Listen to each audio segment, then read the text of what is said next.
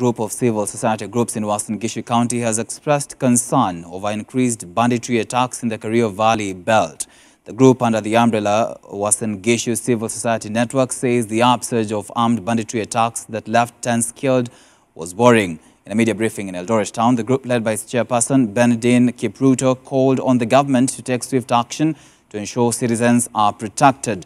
It also condemned a recent attack in Tot, West Pokot County that left four people dead and several others injured. Samuel Kosgei, the Catholic Justice and Peace Commission coordinator who spoke during the briefing, said at least 160 people have been killed along the Kerio Valley belt due to banditry attacks in the last 12 months.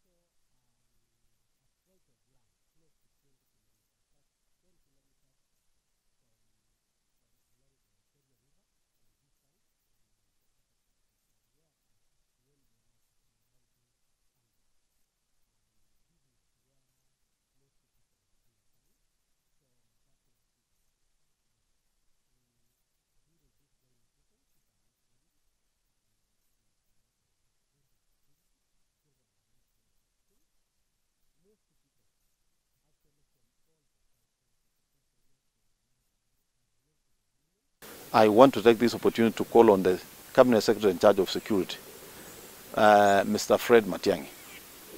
For how long are the children of Kerio Valley going to suffer?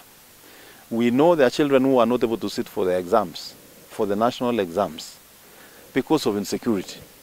There are children who have been killed. There are parents who have been killed. People have been displaced. For how long is the government going to sit on the fence and failing to do what they are supposed to do.